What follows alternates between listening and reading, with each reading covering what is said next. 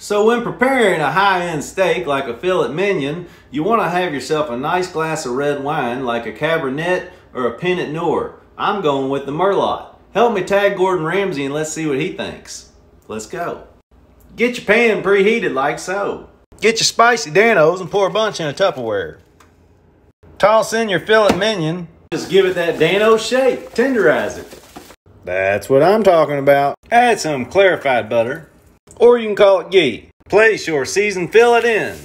Flip after about a minute and a half and observe your beautiful herb crust. Immediate after flipping, put it in your oven at 350.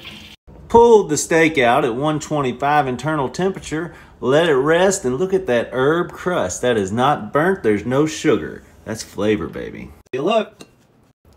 Oh, yeah. Look at that. How'd I do, Gordon?